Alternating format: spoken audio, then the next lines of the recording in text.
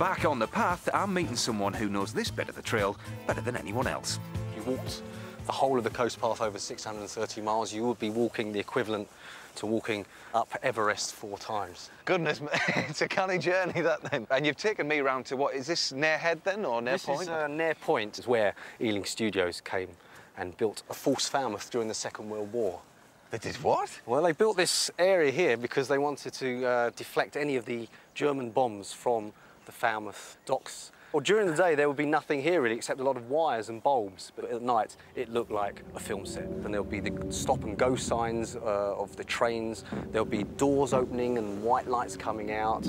And they would actually have uh, paraffin troughs that they would uh, set light to. And this was all remote controlled. So there was people down the coast there setting this off. So this would actually hopefully be a decoy site to, to get the German bombers to bomb here. And did they ever bomb it? They did actually in 1944, and they actually dropped about nine bombs here.